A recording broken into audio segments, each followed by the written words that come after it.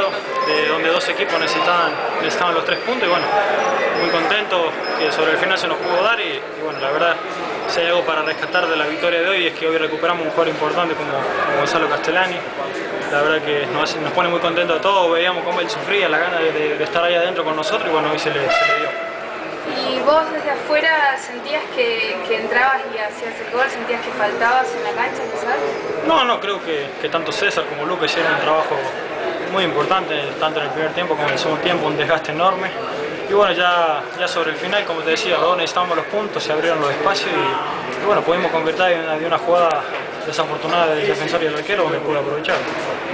¿Para quién fue el gol que te pusiste la pelota en la panza? Para, para mi novia que está embarazada desde cinco meses, así que para ella fue dedicado. Y su familia que hoy, que hoy vino desde La Rioja a estar con ella.